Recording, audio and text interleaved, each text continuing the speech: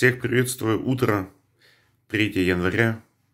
И как-то вообще не хочется никуда не идти, ни что-то делать. Все чисто домашний праздничный режим. Ожидается, опять же, теплейшая погода на сегодняшний день.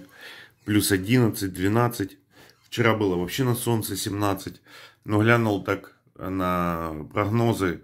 Через неделю обещают там минус. Причем такой серьезный.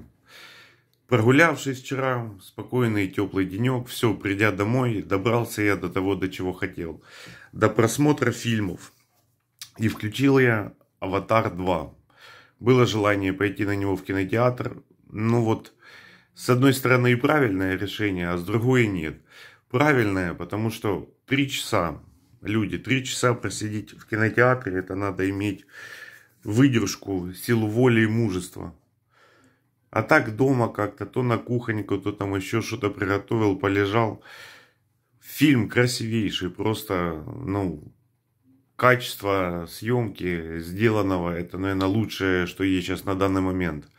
Ну вот вопрос только, сможете ли вы его высидеть в кинотеатре, я нет.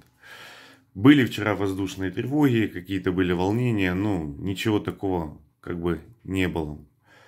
Идут праздничное начало года, спокойное, пускай, пускай оно так и будет.